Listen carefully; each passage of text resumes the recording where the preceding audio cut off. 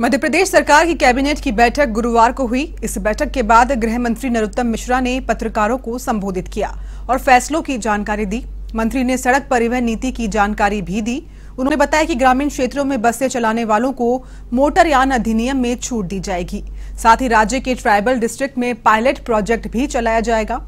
साथ ही राजस्व मामलों में बी वन खसरा नकल और ऋण पुस्तिका व्हाट्सएप पर ही मिलेगी। इस दौरान मंत्री मिश्रा ने बताया कि कैबिनेट ने सेमरिया माइक्रो सिंचाई परियोजना और सामाकोटा बैराज परियोजनाओं को मंजूरी दे दी है। इसके साथ ही निजी विश्वविद्यालय संशोधन विधेयक 2022 और देवारण्य योजना को कैबिनेट ने मंजूरी दी है।